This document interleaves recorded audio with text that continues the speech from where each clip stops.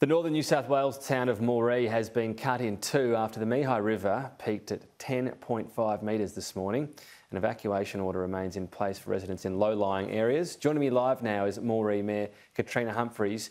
Thanks for your time at a very difficult time. So the town cut in two. What will that mean? Is there one side that's going to need particular help as this happens? Good afternoon, Tom. Yes, the, the northern side of Moree is our, our vulnerable side. We've got uh, maybe up to 100 houses uh, affected with floodwater. We've got um, a, a, peak that, that came this morning. Uh, the rise overnight was really, really big. And it was a little bit cruel in a way because we had yesterday afternoon a little bit of a drop in our in our river heights and then um, a lot of people relaxed, and we said, no, no, no, you can't relax. We know there's more water coming, uh, and yeah, it came in overnight. Came in, I don't know. Last last chance I got to have a look at the north side was about half past ten, quarter to eleven last night. So it, it started sort of probably about one o'clock, we really had a problem. And, and our only street that we had left open across the Mehi River was Balo Street, and we had to close that. And um, and it's still closed, but we're, we're hoping the water will go down sufficiently to reopen that as soon as possible. We've got a, a huge number of people here to help us clean up. Um, you know, and we're, we're, we're still in flood mode and we're talking about cleanup mm. mode and recovery mode because all these things have to be done in parallel. Yeah, they do, and I guess it at least gives some people some focus after the, the, the water does um, actually reside. But what about insurance? How many people are worried or flat out won't be insured for this event and are, are facing crisis? Look, in, insurance, flood insurance is always an extremely expensive thing, but we do have people that, that live in this flood area and they were there in 2012. So a lot of the lessons were learned. Some people have raised their houses, some people have chosen not to insure, and some people have chosen to insure. So uh, I've been saying to people this morning, really and truly, you, have got to talk to your insurance company and take lots and lots mm. and lots and lots of photographs of everything to cover themselves right. uh, for the for the claims ahead. Now, you mentioned 2012. I remember seeing it actually in 2012, 2011, there was a flood. 2017, there was a, storm related flood as well. Copping it a lot uh, uh, of late. You mentioned raising up houses. Is there a solution needed, perhaps a permanent mandated one around the low lying areas of Moree? Well, look, the, the low-lying areas of Moree uh, have been there for a long, long, long time, um, and a lot of the houses have been lifted.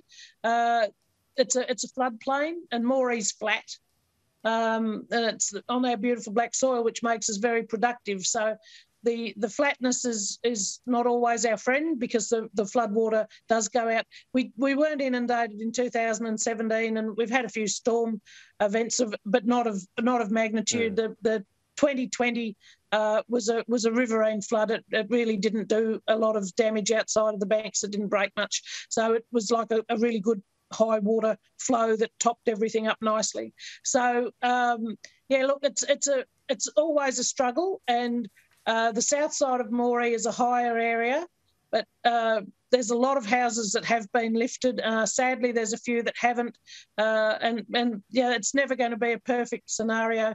And we've been trying to since 2012. We've had a project on which is a third state government and a third federal government funded uh, with the local contributors as well. So we, we've been doing our best, but um, right. you know you can't fight with Mother Nature. She wins every time.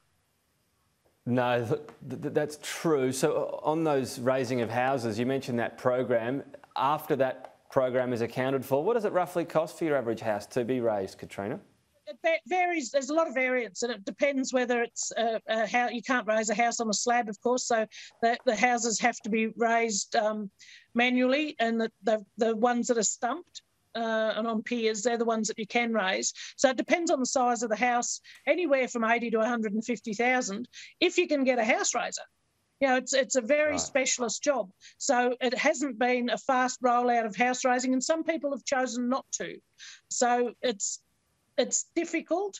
Um, there's a lot of people that'll be very happy that they have, uh, and it's been ongoing for many many years. There's there's nothing new about um, flooding on the plains. We have a lot of rules and regs around new buildings and any subdivisions in the floodplain areas are, um, are looked at very, very closely. But we, we have a, a half metre, what we call half metre above free, freeboard, which is a state policy that we adhere to.